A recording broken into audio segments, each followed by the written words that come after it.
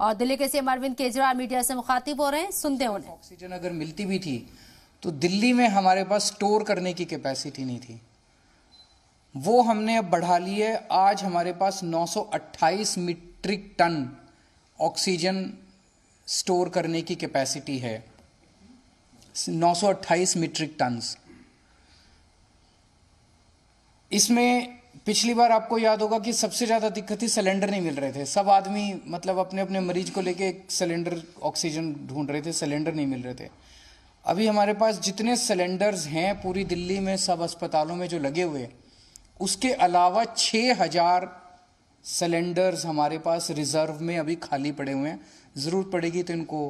पिछली बार जब पीक आई थी तो हमने ये छह हज़ार सिलेंडर्स चाइना से इम्पोर्ट किए थे और ये छह हज़ार रिज़र्व में पड़े हुए हैं हमारे पास सिलेंडर्स। पिछली बार एक दिक्कत ये आई थी कि एक्स वाई जेड स्टेट कह देता था कि ठीक है, आप ऑक्सीजन उठा लो। हमारे पास ऑक्सीजन लाने के लिए टैंकर्स नहीं थे और कहीं से टैंकर उपलब्ध नहीं हो पा रहे थे। आज हमारे पास दिल्ली सरकार के पास अपने 12 टैंकर हैं और तीन प्राइवेट में अवेलेबल है। तो 15 टैंकर दिल्ली के पास अवेलेबल है। अगर ज़रूरत पड़ेगी तो हम ऑक्सीजन को ट्रांसपोर्ट करने के लिए हम, हमने अपने टैंकर्स की भी व्यवस्था कर ली है। दिल्ली में फ़र्स्ट डोज और सेकेंड डोज लगभग 100 परसेंट लोगों को लग चुकी है। प्रिकॉशन डोज जो है वो बहुत कम लोगों ने लगाई है। केवल 24 परसेंट लोगों ने लगवाई है। मेरी हाथ जोड़ के सब लोगों से अब निवेदन है कि दिल्ली सरकार आज ये मीटिंग में भी मैंने सबको कहा कि हमें दोबारा एक एक्सरसाइज करनी चाहिए कि घर घर जाके प्रिकॉशन डोज लगाई जाए। तो सब लोगों से लोग लगाते नहीं है। घर घर जाते भी हैं हमारे डॉक्टर्स लगाने के लिए तो भी नहीं लगवाते। सबसे निवेदन है कि प्रिकॉशन डोज ज़रूर लगवा लें। एम्बुलेंसेज की भी पूरी तैयारी है। अभी 380 एम्बुलेंसेज हमारे पास रेडी हैं।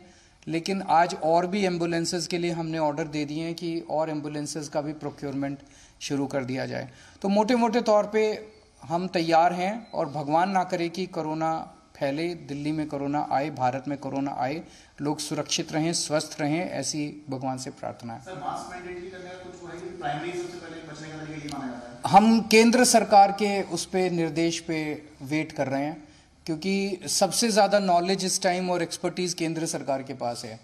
कितना हमें तैयारी करने की ज़रूरत है कितनी वो तो केंद्र सरकार जैसे जैसे आदेश देगी हम उन आदेशों का पालन करेंगे। कई सारे स्टेट एयरपोर्ट पर जो है वहाँ पर रैंडम सैंपलिंग कर रहे हैं। आईजीआई हाँ। पर क्या आपने ऑर्डर किया? रैंडम सैंपलिंग जो किसी शुरू खासकर जो बाहर से आ रहे हैं चाइना से ट्रांजिट रूट लेकर के आ रहे हैं। मेरे ख्याल से उसके बारे में भी केंद्र सरकार ऑर्डर निकालेगा। जो दिल्ली का जो इंटरनेशनल एयरपोर्ट है उसके ऊपर कितनी सैंपलिंग होनी चाहिए जो जो केंद्र कहेगा उसके हिसाब से मैन पावर और मटेरियल प्रोवाइड करना हमारी ज़िम्मेदारी है।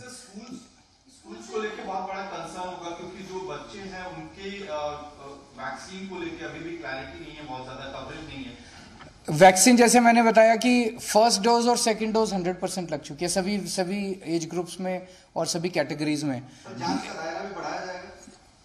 जाँच का दायरा भी बढ़ाया जाएगा। जितने जैसे ये सार्स वाले केसेस आ रहे हैं जितने भी सांस के केसेस हैं उन सारे केसेस में 100 परसेंट केसेस में अब हम कंपलसरी जाँच कर रहे हैं आरटीपीसीआर की।